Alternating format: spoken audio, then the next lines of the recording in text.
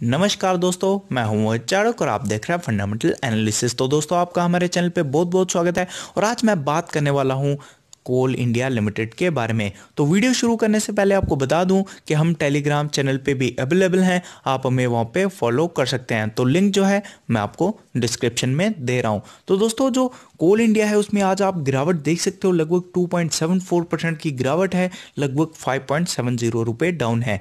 तो आज इस वीडियो में बात करूँगा कि क्या आपको इसमें निवेश करना चाहिए कि नहीं, और अगर आप इसमें निवेश करें तो किस लेवल पे आपके लिए सबसे बेटर रहेगा।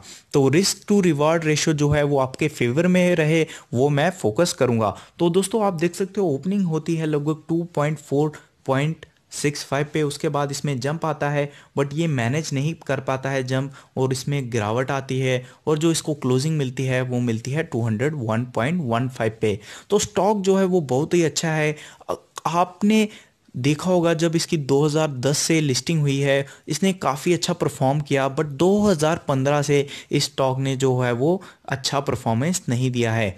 तो डिविडेंड जो देता है वो बहुत ही बढ़िया देता है। इवन आपकी जो एफडी होगी, आपने बैंक में किसी एफडी करवाई होगी, उससे ज़्यादा जो है वो ये स्टॉक डिविडेंड देता है। तो ये तो हो गई बातें, इसका ट्रेड देखना चाहूँगा, उसके बाद बात आगे कंटिन्यू करेंगे।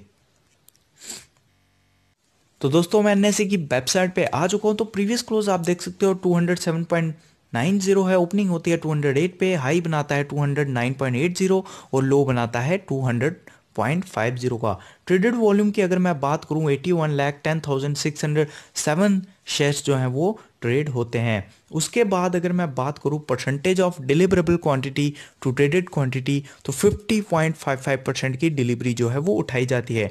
डिलीवरेबल क्वांटिटी की अगर मैं बात करूँ 31 lakh seventy two thousand four hundred sixty nine shares जो हैं वो डिलीवरी पे उठाए जाते हैं। तो दोस्तों डिलीवरी जो है वो बहुत ही बढ़िया है। उसके बाद अगर मैं बात करूँ 52 वीक लो की तो 177.70 है। उसके बाद अगर मैं बात करूँ 52 वीक हाई की तो इसने बनाया था 6 जून 2019 को 271.45 का। तो दोस्तों, अभी करंट मार्केट प्राइस की अगर मैं बात करूँ 200 2.20 पे चल रहा है। तो अभी बात आती है कि आपको इसमें निवेश करना चाहिए कि नहीं करना चाहिए।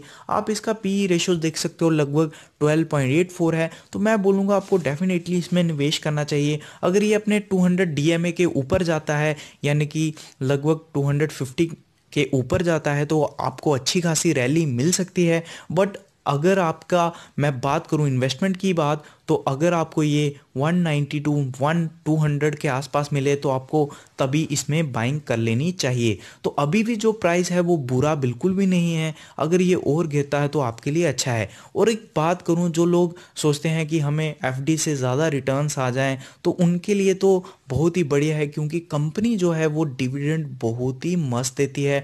आपको अगर मैं बताऊँ तो एफडी से भी ज़्यादा। अभी कैसा डिविडेंड अनाउंस करती है, वो हमें फ़िलहाल नहीं पता है। आई होप पिछले से भी अच्छा डिविडेंड जो है वो अनाउंस करे कंपनी।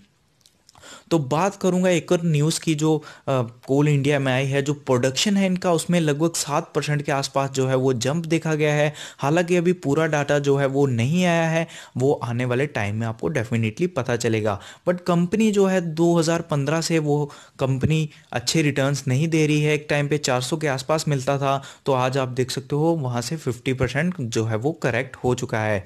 तो इसलिए प्राइस जो है वो लगभग पचास साठ परसेंट के आसपास सस्ता मिल रहा है। तो इसका मतलब ये नहीं है कि आप उस पर बाय कर लीजिए। अगर अपॉर्चुनिटी मिलती है तो डेफिनेटली आप उसमें बाय कर सकते हैं। और अगर मैं बात करूँ, आप इसमें अगर इन्वेस्टमेंट करना चाहते हैं तो मेरे ख्याल में 190 से लेके 200 के बीच में जो प्राइस है वो आपके लिए बेस्ट रहेगा। और अगर आप इस प्राइस पे भी बाय करना चाहते हैं तो मैं आपको बोलूँगा कि आप कर सकते हैं बट अपना सारा पैसा मत लगाइएगा और स्टिक स्टॉप लॉस को फॉलो करिएगा और जो आप स्टॉप लॉस लगाओगे, वो इसका 52 वीक लो लगाओगे।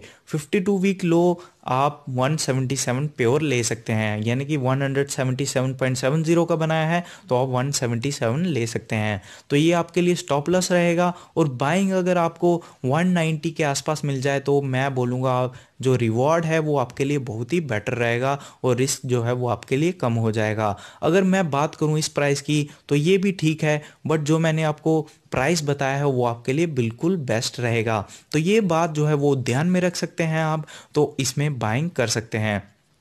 तो एक और बात मैं बोलूँगा, अगर मार्केट गिरती है तो आपको घबराने की बिल्कुल भी ज़रूरत नहीं है। अभी बजट आना है, उसके बाद ही हमें पता चलेगा मार्केट कैसा रिएक्ट करता है और